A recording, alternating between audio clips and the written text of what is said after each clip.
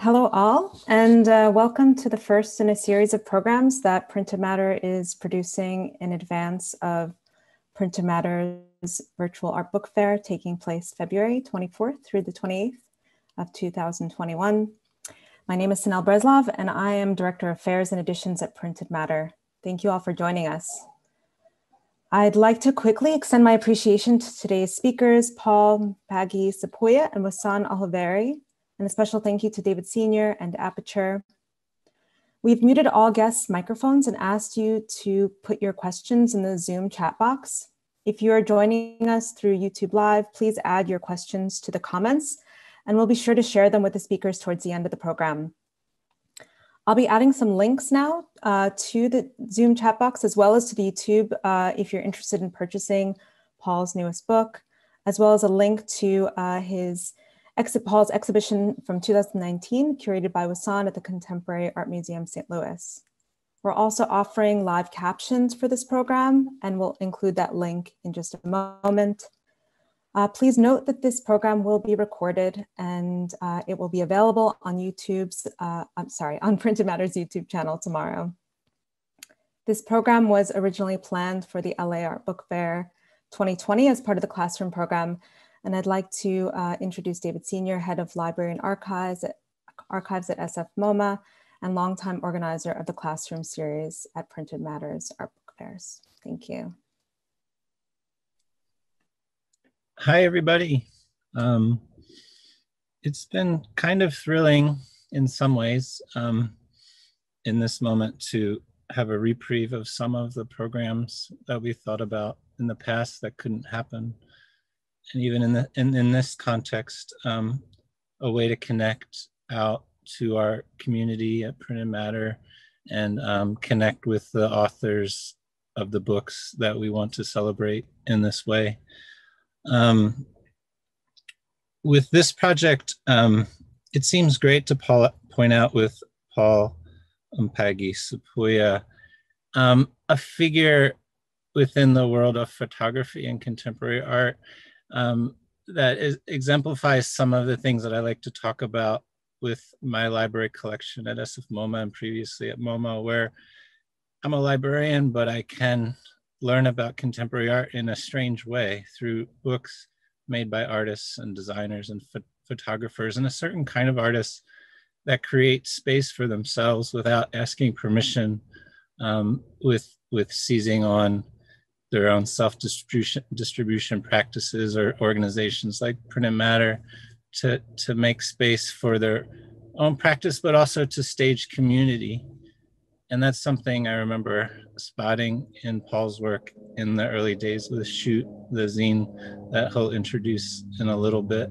Um, and really, and like noticing friends in the pages or just a, a magazine, a zine at once that mapped out a series of personal relations, but also was about um, community in, in a way that repeats itself in various projects that we encounter within the world of printed matter that I, I want to call out. And, and sometimes these figures become part of our canon of contemporary art, but we know where they began in terms of how they tried to do it themselves in terms of printing and stapling these little booklets.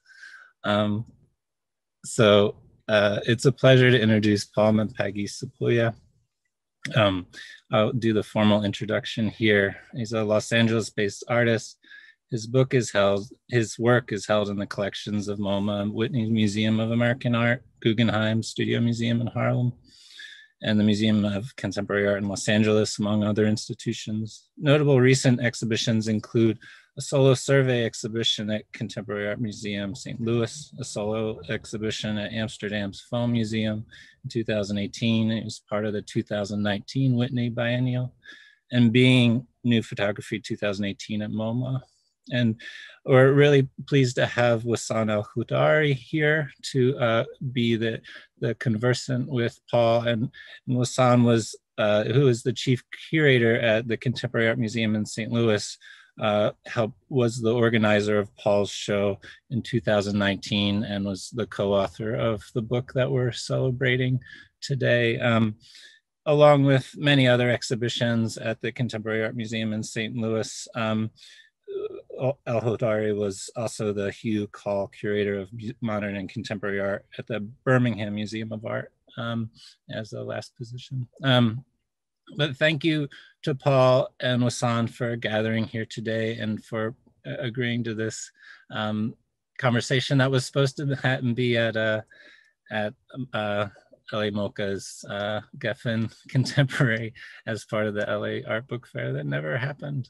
Um, so thank you so much, and and I'll turn it over to you guys. Great, thank you, David. Mm -hmm. Um, so Wassan, or which one of us will begin? I think you're going first. Okay. Um, so I'm just going to begin. Um, well, I first want to say hello to everyone out there. These Zoom things are always so um, uh, sort of strange because we're just sort of talking to ourselves here and we can't see all of you out there. Um, so, you know, um, this is really wonderful for us to gather um, because we were, I know Wassan and I were really excited to see each other this past spring out here in LA. Um, so now here we are virtually um, to talk about this book. Um, but I wanted to just begin by thanking um, Wassan and everyone at, at CAM, at Aperture, um, particularly Leslie, Leslie Martin there at Aperture, um, folks at the Blaffer Museum, um, and uh, also, you know, just acknowledging the folks who contributed to this book. Um, and I'm going to get to a little bit more about about that um, to uh, Lucy Gallun, um, Malik Gaines, Ariel Goldberg, um, Grace Wales Bonner, and Evan Moffitt um, for contributing um, writing to this book. Um, and yeah, I, am going to save everything else once I go to like a uh, my, my presentation. Um, so I'll hand it over to um, Wassan. Thanks, Paul. Hi, everyone. Uh, echo Paul's uh, feelings. It's uh, it's hard to to talk to you all without seeing you, but um, you know we know you're there. We know some of you are there, um, and so yeah, Paul and I wanted to start tonight with the with sort of just our gratitude and thanks um, to everyone involved with the book. So um, I'll just add to uh, the thank yous to the contributors that, um, you know, echo again uh, our thanks to Aperture. We were thrilled, um, CAM was thrilled to work with Aperture on this project um, to, you know, their ongoing commitment to photography and its role in engaging with contemporary culture made them just the right partner, I think, for this project. Um, the book was produced by Lucia Marquand in Seattle, designed by Tom Eykemans. So we want to say thank you to Tom and his sort of artistic vision, um, and edited by my colleagues Misa Jeffereis and Eddie Silva. I wanted to say thanks to them. Um, and the book would not have been possible without support from a lot of people. So thank you to the Robert Mapplethorpe Foundation, Document Chicago, Team Gallery, Ville Los Angeles, Hetty Fisher and Randy Schull, Nancy and Fred Poses, Hunt R. Tackberry, Heiji and Brian Black, Thomas Levine, Michael Hole. Um, thank you to all of you. And thanks to our partners, the Blaffer Art Museum, where um, uh, Paul's exhibition traveled from CAM to Houston um, to be shown there, uh, which I also wanted to kind of say my thanks. So thank you to everyone who was involved. And thank you, Paul, um, for trusting me to work with you on this project. Um, so now to the the content part of the evening. yeah, it was such a pleasure. Um, it was such a pleasure. So thank thank you. Um, okay, I'm I'm assuming everyone can see me now. I'm going to switch to share my screen. Um, and I'm going to try to go through a lot of info and um, background in a short amount of time. Um, oh, wait sorry, technical difficulty. What is happening here? Let's go back. Wait, hold on. this always ha this always happens. Okay. Oh, sorry. This is a thing with this new OS. Okay. It's like oh, while you're dealing with that, um, I just I forgot to mention in the intro that part of the conversation that will happen later is uh, Q and A's. And so if there's things that come up while Paul's presenting or within the conversation that you want to follow up on or ask, just drop it in the chat or um, and and we'll pick up on the Q and A and we'll we'll follow up after um, the conversation. Great. Okay. Um, sorry, when I went into full screen, it moved it to a I don't know how you say like a hidden off screen screen. Okay. So I hope we're back. And when yep. we go to full screen, it will stay. Here we are. Okay. So this is the book um, that uh, that uh, was produced with uh, with Wassan and, and Aperture and everything. But I want to start by kind of giving an overview of my various aspects of my practice over the past ooh, let's say 15 years relating to um, self-published projects, zines, um, and exhibitions and the way those have sort of like flowed back and forth. Um, I'm gonna go pretty quickly so um, we can return to anything spe uh, more specific um, with uh, guided by questions from the audience. Um, so I just wanna kind of begin by giving a context to where all of my sort of like zine stuff started in about 2005 um, which uh, kind of came from like what David described, kind of like just trying to take control of of of forming conversations. I began making zines using my um, contact sheets, outtakes, and sort of test prints um, at a moment when I was producing a lot of portraits, but I was this predated any sorts of like um, exhibitions of work for the most part, and so I was using like my Xerox, uh, uh, the Xerox machine at work to make photocopies and of, of, my work and staple them and print them and uh, and and send them out. Printed matter there in New York, Art Metropole in Toronto, Skylight Books in LA, various places were the first ways in which this work went out, and then it started to circulate through these collaborations and overlaps between this larger kind of like zine culture, uh, kind of was like a resurgence of, of queer zines in the in the mid 2000s. This was, I think, maybe the second or third uh, moment of the work um, being featured in Butt Magazine, which one of those which was one of those channels that kind of um, broadened the audience um, in in a way. So I'm going to go through kind of quickly just some images so you can see what this uh, what these zines looked like a little bit. Um, so for example, like shoot two was made from a series of 10 photographs that were outtakes when I couldn't decide on one final portrait for this subject.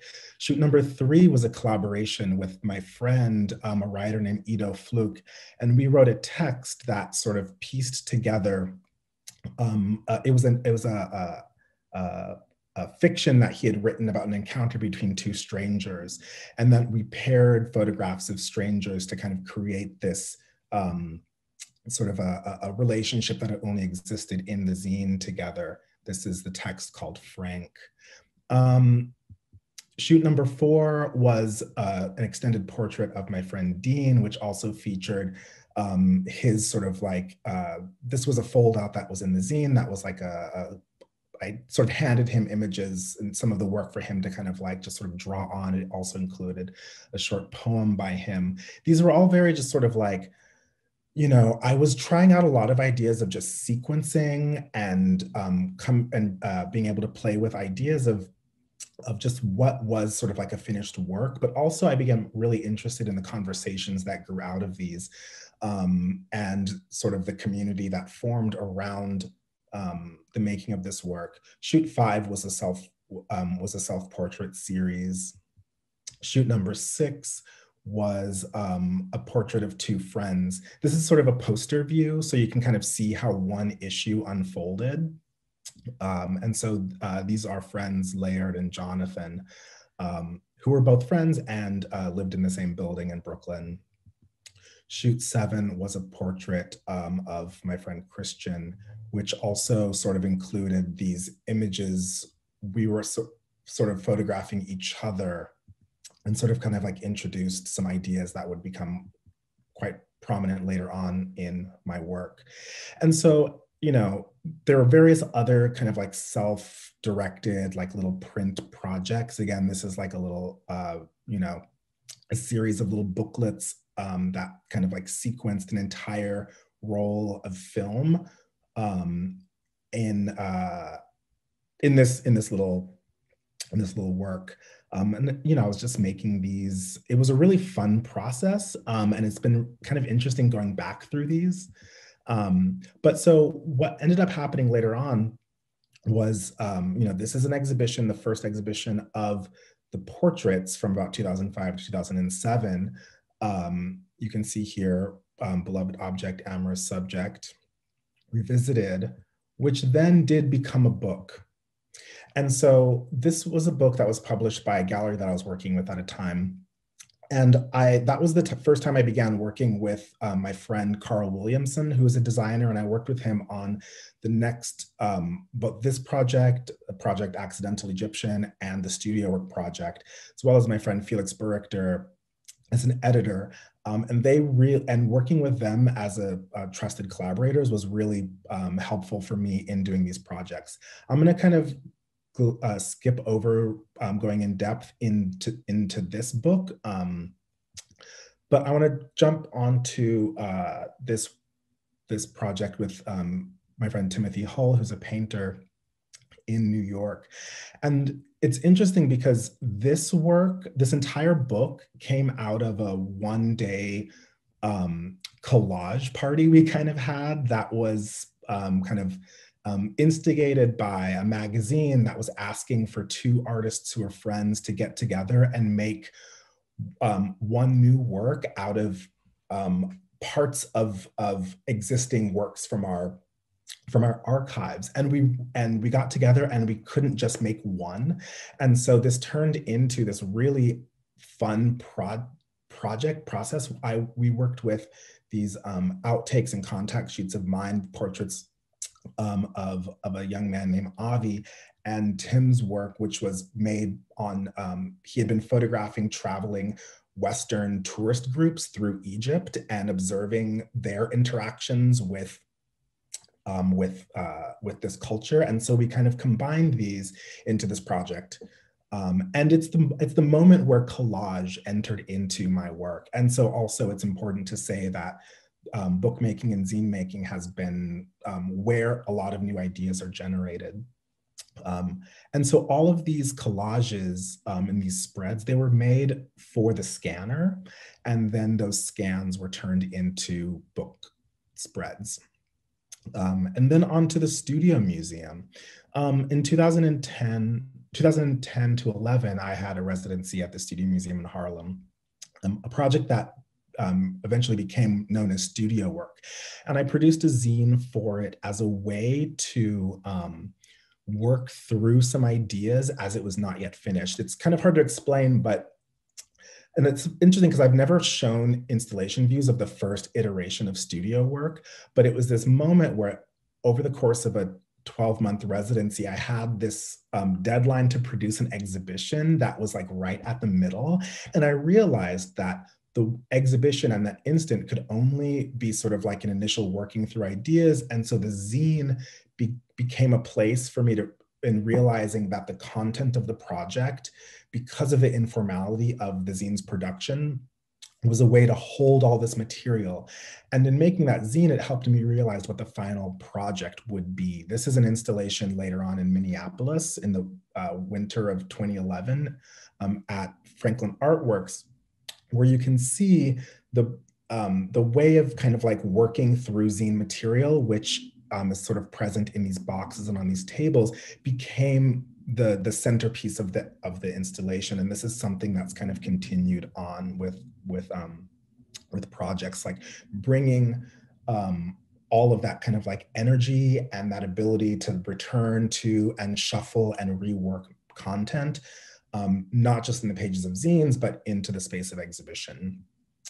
This is a, I found this snapshot of my, of the studio that I worked in for a winter while um, finalizing the studio workbook. Um, uh, Felix would meet me here and we would sequence and edit and it was a really fun uh, process, um, this is uh, kind of giving you an idea of what became the final studio workbook. Um, and then that exhibition continued to travel and we can see various iterations here again. Um, what you see on, on these tables is often all of the previous instances of editing and content and material. And I, and I still return to this um, to this day. But then this leads off to sort of like the last type of, um, of self-published project that I've been doing, which is began in 2013 with this book, this book, which is not a produced book, it's a single object, um, a single artist book called Some Recent Pictures, a journal. Um, and what it does is it holds together these informal, just like laser prints, Xeroxes, ephemera, notes, etc., of work that I'd been making itinerantly for a few years between 2011 and 2013 when I was without a studio. And so this, um, and then this, this book itself was indexed. I actually presented it at the 2013 New York Art Book Fair um, as sort of like a single object. Anyone could come up to me and chat at my booth, and I would kind of go, I would flip the pages and we could talk.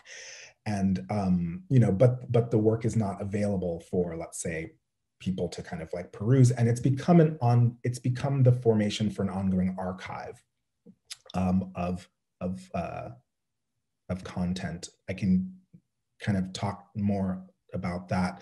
Um, but there are now, this was the first volume of this work. There are now 10 volumes. Um, and they continue to be the repository of all of the um, sort of like fragmented content that you find in my current work.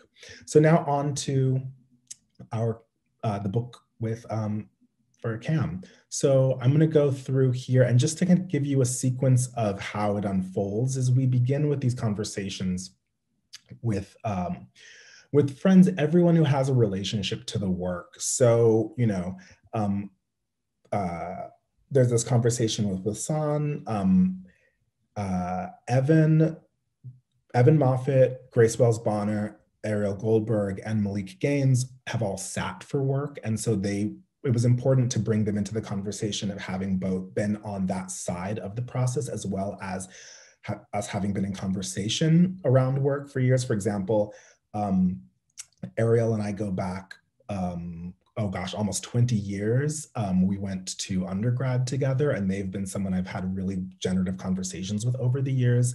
Um, Malik is someone, is a friend who's been in work over the last decade as well. And so um, Wassan can talk more, a little bit more about this, but we decided to um, have the, the, the exhibition unfold um, relationally rather than chronologically, um, kind of coming into recent work, um, some of the most recent work, and then kind of like opening up to this kind of fragmentation. You see, this is a, a crate of some of the studio work material along with some of this collage work collage type work. Um, but then we we kind of like wanted to settle onto the some of these original portraits. That was such an important part of um, of my of my early work. And I also want to say this was the first time that any of these images had been shown in exhibition.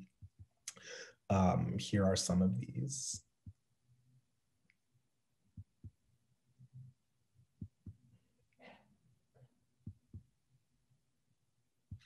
Okay. And further, you know, here we have some work from 2015 or so, along with uh, an excerpt of the studio work project from 2010. And so the book kind of follows along these similar strands. Here's the installation of studio work. And here it is in the book as translated. Um, and this is where I'm going to kind of leave it off, you know. Um, here's some more views. Works. And then I just want to end it with a couple of install shots from the Blaffer Museum. um, where we were able to expand the exhibition with a few additional works. Um, and we were able to, um, with the kindness of uh, my friend Darren Klein here in LA, who's who's had every one of the old zines, he lended um, those original um, editions for us so that they could be seen there in Houston. So I'll hand it off to Wassan. Thanks, Paul. Um, I think what my contributions will be tonight are just to kind of maybe zoom out just a little bit and talk about some of the intentions around the exhibition and the publication. Um, and I think that one of the things I wanted to share was to kind of think about. Um, I was interested in thinking about how we could have a deeper kind of understanding of Paul's practice. Um, that was sort of the intentionality of when I think when I first reached out, Paul. And, you know, I was thinking a lot about how in the instances where I've seen Paul's work, it's often been one particular project or work from one particular series.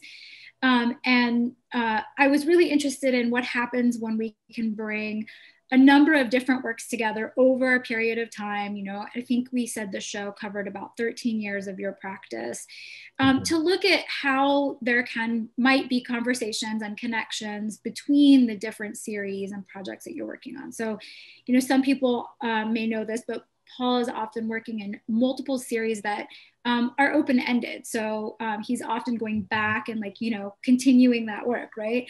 Um, and so that was one of the reasons why we didn't approach the exhibition layout chronologically because you know the work you don't approach that work in that way and so it would mm-hmm. feel kind of um, disingenuous to, to do that in the exhibition.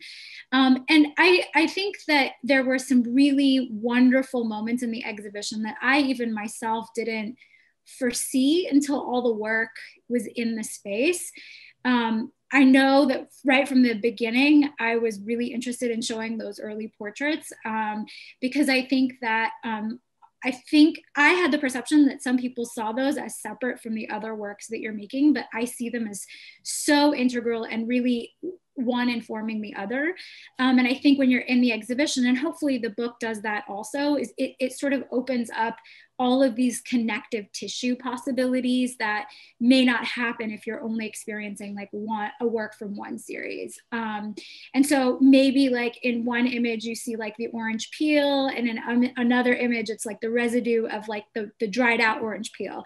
And i think there's something really um, nice about seeing time um, like like almost visually um, you know unfold as you went through the exhibition and looked at some of the works. Um, and to see things like in the early portraits, the way in which even fabric played a role. I mean, and this is me as like kind of being the curator projecting into this, but mm-hmm. you know, seeing like in a lot of cases, um, those photographs, people were in, you know, your sitters were usually in a bed and there's some kind of either sheets crumpled or, and those things like kind of relate to some of the later work when you start looking at dark room or sort of how fabric kind of finds its way. So, mm-hmm. you know, I think that the exhibition was really this opportunity um, you know, we do all this work to prepare an exhibition, but I actually think a lot of the work happens after the exhibition opens when you're in the space with the objects and you start to find these like really wonderful connections between the work. So I think that was something I wanted to share. And I, I think that the intentionality around the publication, as you've shared already, Paul, you know, I think that um, I was familiar with some, but not all of the zines that you had produced. I hadn't, you know, they're not very easy to find. And if you try, you can find them for a lot of money on the internet right now. so I remember I asked you to send me a few, and I had, I think I had one or two, but yeah, I, I think that you know, I knew that the the the zine format and that kind of, um, you know, it too is is so much not. It's not separate from your making practice, you know, and you've you've sort of really explained that I think yeah. in your in your remarks and that kind of sense of thinking about also i was realizing this as i was thinking about some of our comments for tonight is you know literature has often played a very important has played a very important role in your practice too. And that also takes the form of some kind of you know book. And so yeah. i think like the book the zine the you know the the that kind of vessel has played a role. And so i was really excited from the pretty pretty much from the beginning. I said if we're going to do an exhibition. I really want us to do a publication.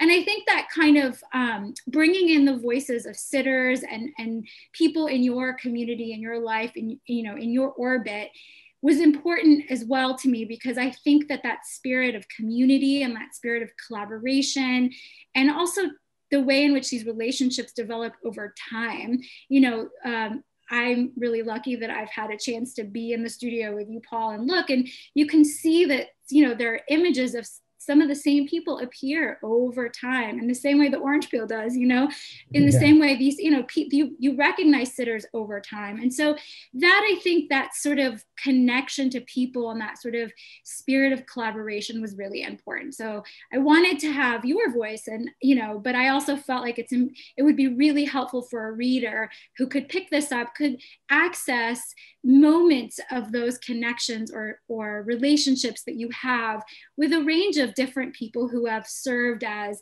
inspiration or collaboration or, you know, and I think everyone who's who's involved in sitting for an image that you make is a collaborator. And i think um, and i think that bringing that those voices in was um, a very deliberate intention in the way that we thought about the publication.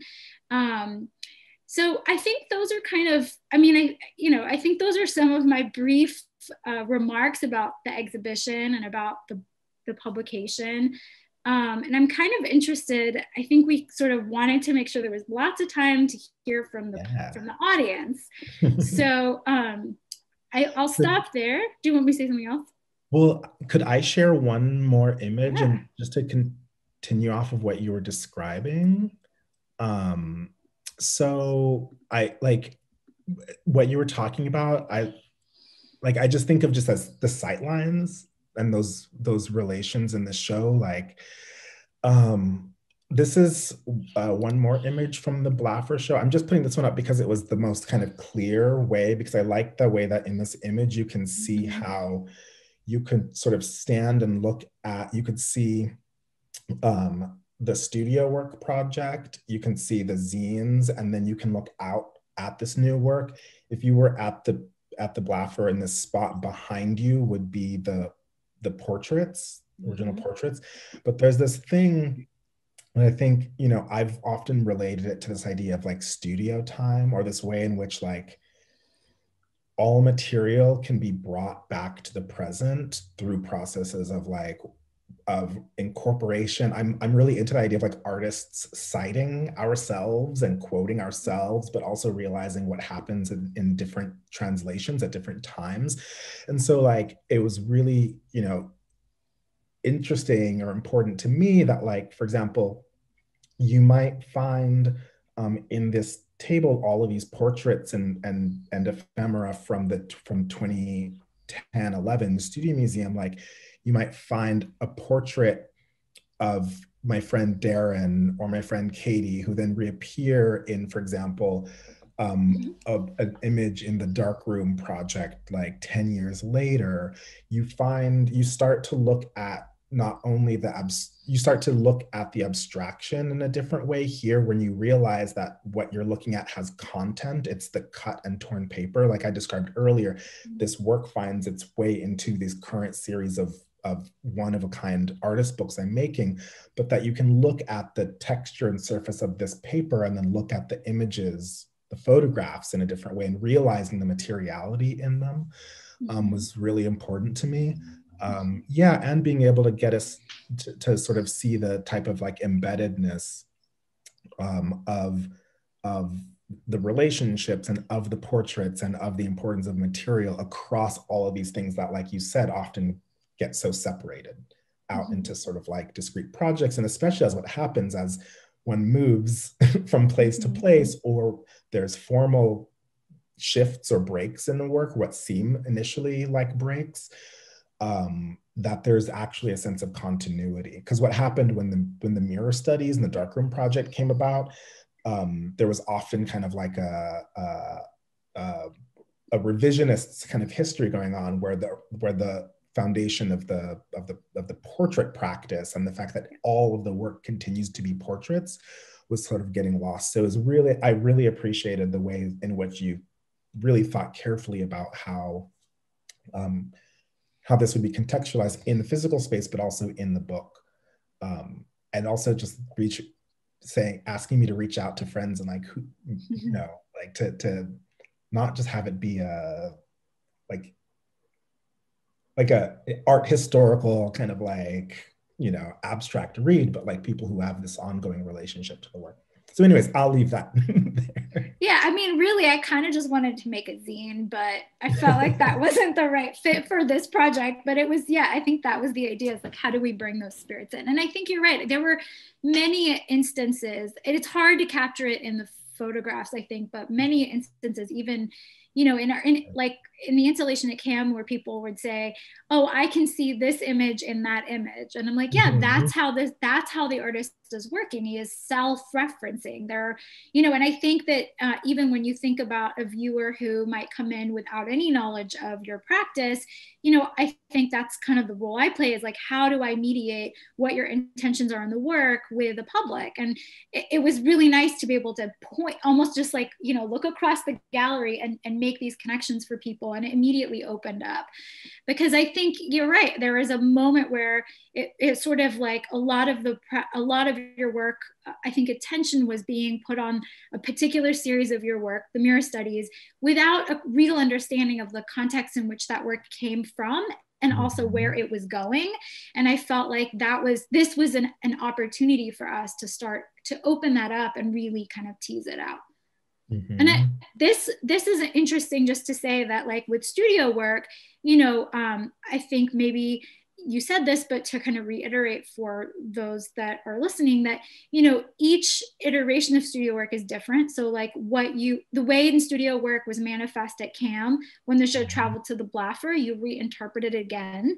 Um, and also to think about how you take something that appears the way it does in a show and to to translate that to the pages of the book. And I think, you know, um, we had great collaborative spirit between yourself and me and Tom to, to find a solution for it. But, you know, those are some of the things that um, can sometimes be difficult to translate from physical into a kind of, uh, or from a, a three dimensional gallery space to a sort of two dimensional book. So, yeah. Um, yeah.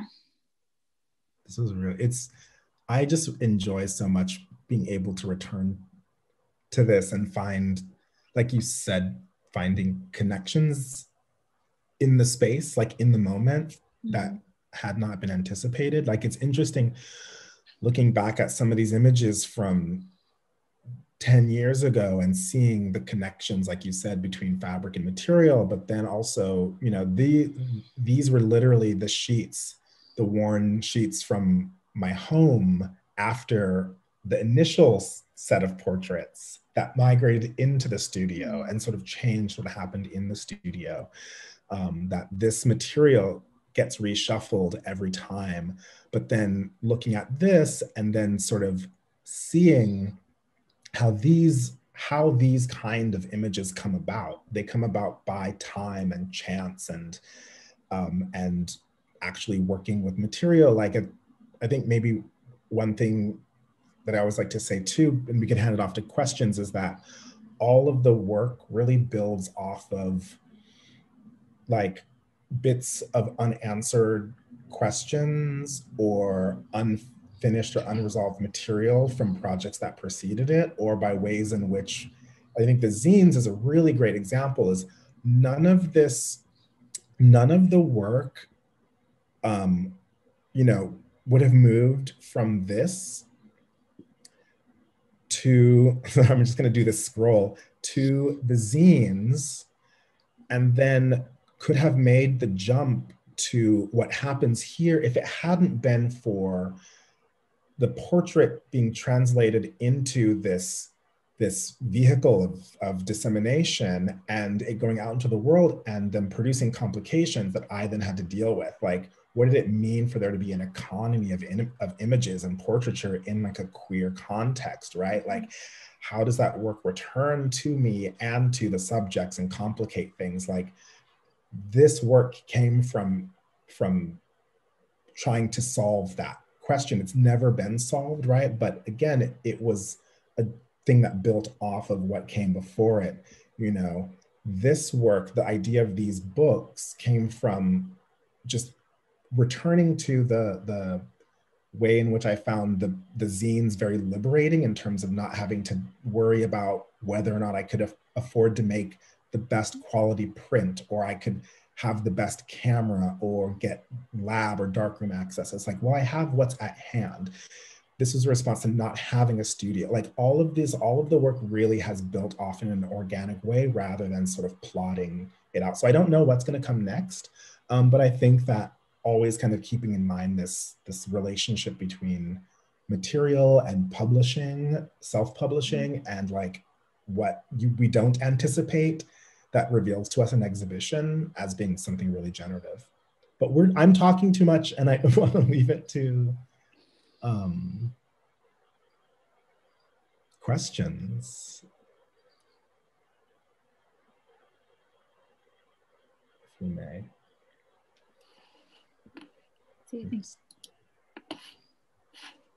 Paul, can I ask a quick question about the like archive books? Like you mentioned that it was like ongoing. Is that something that is just a part of your studio practice now? Like you refer back to it, or mm-hmm. in terms of adding to it, it just like is the next page that you insert something into and Oh, I mean, they just start from piles of stuff. Piles, piles yeah. of printouts. It might be like just making laser prints and Xerox is a, is a really easy way to edit. Mm-hmm. So that becomes something. Sometimes it gets cut up and becomes a new picture. Sometimes it gets archived. I print out all my iPhone photos oftentimes. Mm-hmm. Um, I've been doing that since I had like a really crappy like uh blackberry you know and like super low res stuff like it's been a place where i can just without any hierarchies just kind of got gather things together. And what I mean by they became a substitute for a studio is rather than having studio walls to pin stuff to, they became bundles of stuff that I could organize and, and binder clip together. And then I needed a way to resolve them. So I, I decided kind of at certain points, I would be like, well, no more shuffling. I work with a bookbinder um, in uh, there in in New York in Red Hook. Um, Corinna, she started small editions. Now she's at the Center for Book Arts, but I still work with them. Um, and like we just sent six more a few months ago to get bound. Um, and then they eventually become indexed. Mm-hmm. So eventually there's this space in which at a certain moment there's a timestamp of what was happening in the studio um, while the content can still circulate in different ways if that makes sense mm-hmm. yeah There's a comment from the the stream that is just more thanks for bringing the zines into this. They're a kind of dance between ephemeral and historical, as well as how the projects continue over time and talk to each other. Mm-hmm. Larry Wolf.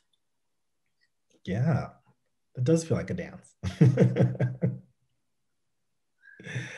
um, it's all, you know, maybe one thing also say it's I before quarantine hit, I was supposed to go to New York to finally get all of my storage out here to LA, which included all of my original zine material, all my old negatives, all my contact sheets, all these old prints.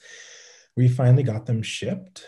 Um, we found someone, um, an art handler, and she was great, and she packed it up, and we got it here. And so I've one of the things I've been doing in in quarantine is um, we've been going through the archives of stuff and I've been discovering mock-ups and ideas for zine projects that never got made like notes and things and I don't know what's going to come of that but it's but I've been finding like sparks of ideas that I'm still trying to work with now like in there. So I always recommend for everyone just like keep, like keep everything. Put it in a print file box like put it under your bed like that's what I did, and it's it's it's continued to be a really generative uh, place. You mentioned in the beginning, like, uh, sort of referencing like a flourishing in like the aughts of a new kind of like queer zine culture. that you found yourself amongst or you noticed and were like participating in with some like historical different distance from that specific moment do you have any reflections on how and why that was going on and like as a medium of choice? And and was there people who are catalysts for that? Or and and just in terms of like looking back on it now and what what was instigating you to make something like that too? I mean there were so many catalysts. Yeah, you know, yeah. like there was this uh, uh, there was a writer named nick boston and he was the one who introduced me to butt magazine. He wrote like a, a little you know hundred word thing, thing in the back of one and you know kind of like made that connection. There was meeting and be, becoming friends and you know brooklyn neighbors with christopher scholes when he was interning at printed matter and you know making those con- and that's how i you know be, got to know max and aa and and by extension you and you know this whole community. Um and i think there was something about this like new wave of also just like social media happening.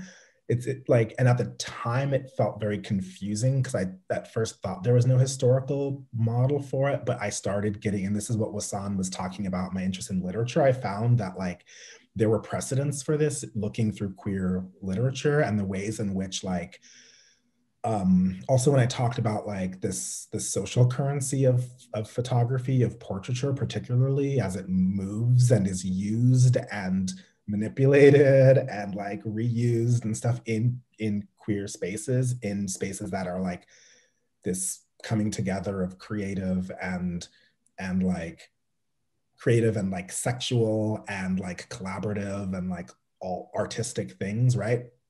That i looked a lot to like the way in which like truman capote used photography in like scandalous ways in the 40s you know the ways in which like the diaries of Virginia Woolf and um, would would how she would dis, uh, uh, disseminate gossip through letters. You know, particularly relating to like should she sit for a portrait by Cecil Beaton? Like she heard from like another gay who just came from an orgy that like maybe she should maybe she shouldn't like the same things that we were dealing with and i'm talking about the thing that that happens as work starts getting out into the world and becomes a platform has always existed in different ways. So it was really helpful for me to look to those. Also, the writing of Richard Bruce Nugent, um, this queer black writer in the in the Harlem Renaissance, super important.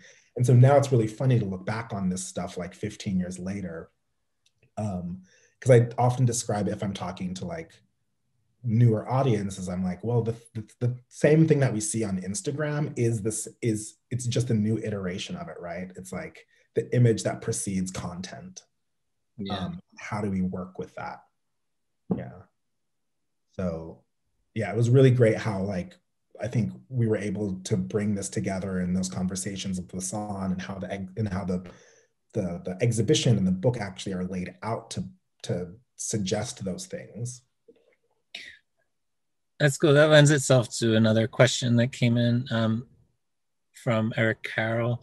It's great to see examples of how zines and books have affected your exhibition installations. I'm wondering if your exhibition strategies have ever formed the way you create and structure your books. Oh. Um, I have yet to make a book in. Well, I think perhaps the, the Studio Museum project was a way of like sort of the um, realizing that the book would be the place where the that that in a sense brought together or made coherent a project that at the time of exhibition I didn't even really understand myself or have a grasp on that having the space of a book was really helpful in that um, you know i think also every exhibition if it's a good one, it feels like, oh yeah, this I really love it, but you also see the things that you'd like to add to it or do differently. Um, I don't know. I wonder what uh, how you know um, thinking about like how uh, how the ideas for the book kind of came came about and working on on that with me um, in response to the forming exhibition. I mean, I think that I think it's a different way to answer it for me as like kind of the organizer. You know, I'm it's not it's not about my vision, it's about your vision and how do I stay true to your intentions and um and present something that feels authentic to you, you know. Um so it, it's not so much about like what I particularly want, although I think the the things that the vision that is the kind of created as the initial part of a project is sort of here's what we're thinking, right? We want to include work from all these different periods because we want to try to, you know, what I was saying earlier. So um, I think that for in terms of the the way in which we you know we really laid out the book the book includes installation images from from the museum. So the book wasn't actually completed until the end of the run of the exit or actually after our exhibition closed really.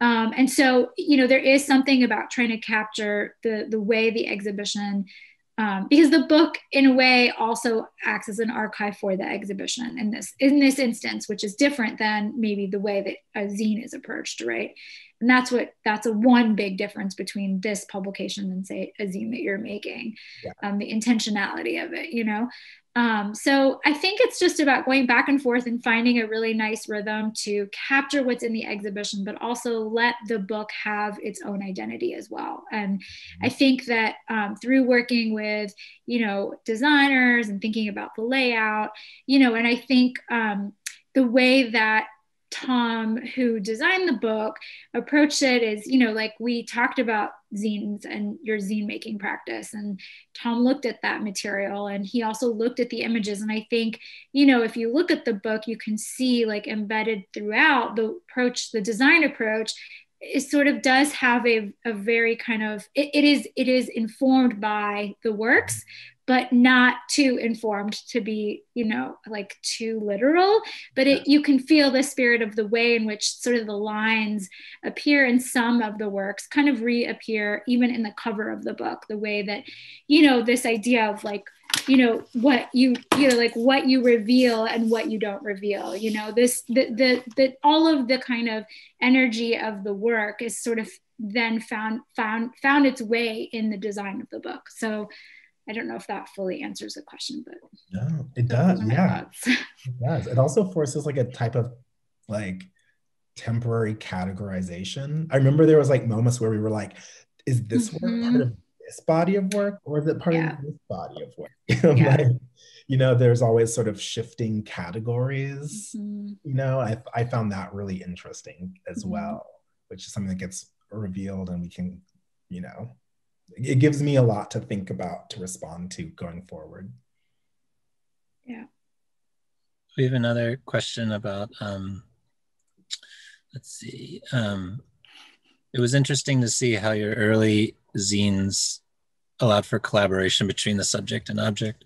I noticed your portraits in the Whitney Biennial last year and also took on this question of subject object blurring and the question of authorship. Can you speak more about the collaboration and your role as the photographer in your work? Oh, okay. So that's a good question. Um, and how much time do we have? I mean, I'm not going anywhere else. We're like all at home in quarantine. So, um, but it, it, it's hard to answer. like we can go past our time limit. Um, so the work in the Whitney Biennial, I the way I like to describe it is ideally um, if if that work had been presented in another context, it would have been a group show of work by other artists, organized by me, um, because it was really important that um, that the that how do I say it? It was the work of eleven artists, friends, um, uh, you know, ranging from artists who've exhibited who are well known to self-taught artists to you know artists who are showing for the first time um, to friends who are writers who are who do not consider themselves necessarily visual artists you know but it was i was interested in the type of like entanglement and the side by side working that's present in so much of my of my work.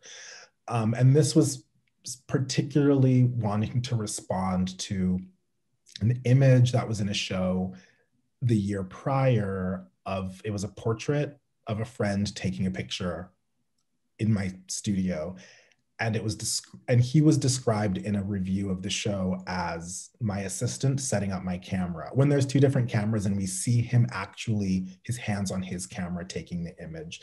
And so i was thinking you know it, it came in response of thinking about a few years of work that i had had asking friends okay rather than me just taking pictures in these setups that i've constructed you know you're an artist you are a photographer you are someone who has agency and in relation to images bring your camera make images alongside me and whatever those may be i kind of was like you know let's let's kind of like you know if there's anything that you really like share it with me. I'd love to be able to like put a wild idea out to to a curator that like maybe I could organize a show of these friends' work that kind of gave more insight to the way all of our work is is is entangled together.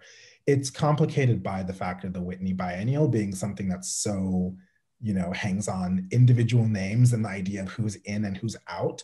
Um, I really you know so um, yeah so that's the nature of that work. Some of it was there was a few things that were collaborative. Most of the work was not directed by me not decided by me. And then there was one or two works of mine.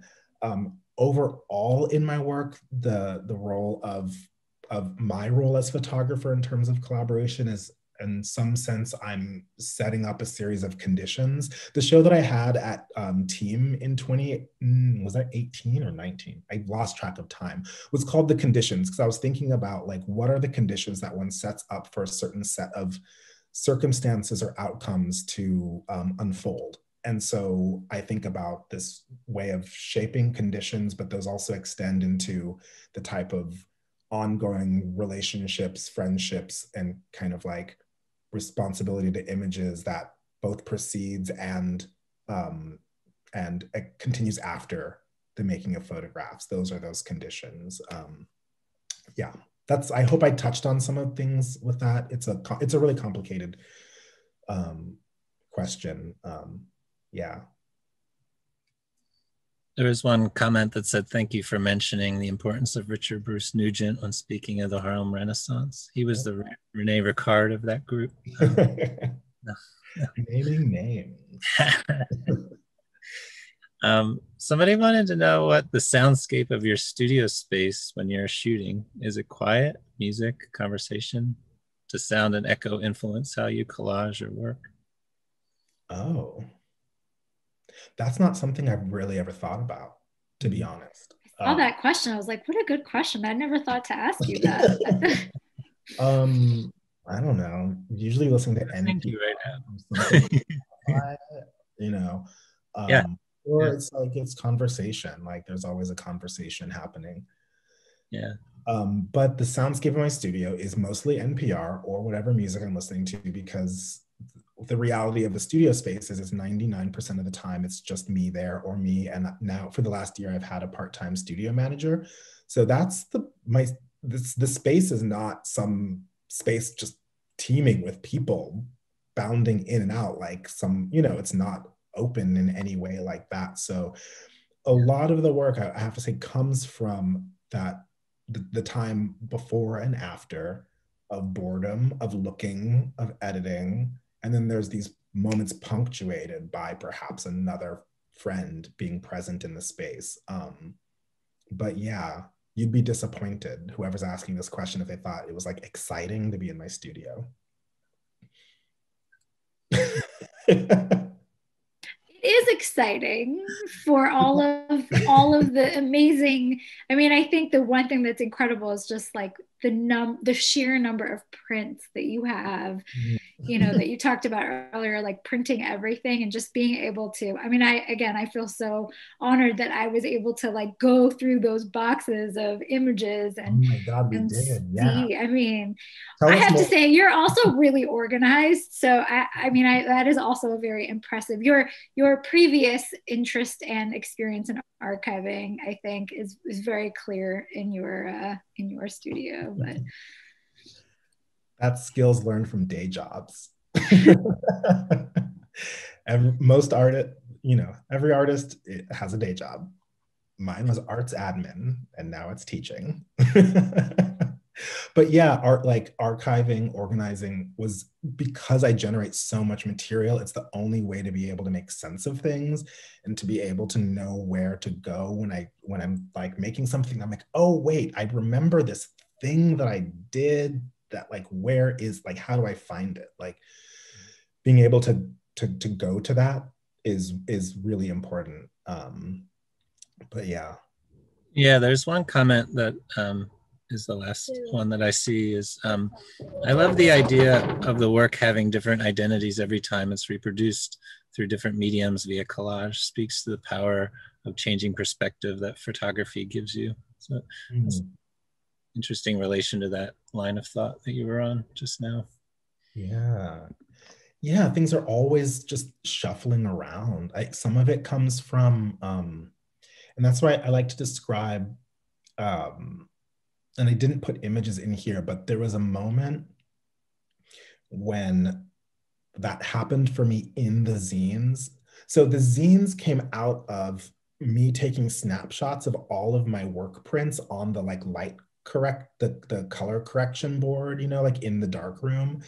And then being like, why do I have to select one? Like all of these things, even the things that are slightly off, all work together for me um, then the like the, the type of collage that happens in the current work came from this moment where I realized the first time I had access to a studio through a residency at LMCC, I just use the studio as an office space. I think like most photographers do this. It's like I go out into the world, I make photographs, and then I have this studio that's nice and clean, and there's a clean table and like a computer and maybe some like neat push pins and on the wall and like and you know file like that's what i was doing and then this moment there's I, I continued to sort of like occasionally take pictures of just like messes of things piled together before I cleaned them up and organized them. And I looked at one one day and I was like, wait, I think this is work. Like it held together in a photograph, the type of thing that happened in the zines. And that set off this way that led to the ideas that I was able to work with at the Studio Museum and before that at the Center for Photography at Woodstock. And, that, you know, so it's like this that what's described is that, like, yes, every time that something is reproduced, it's going to end up in a different sort of environment and in a diff and next to something different. And that sort of like thing that I could never plan like that juxtaposition generates new things you know um yeah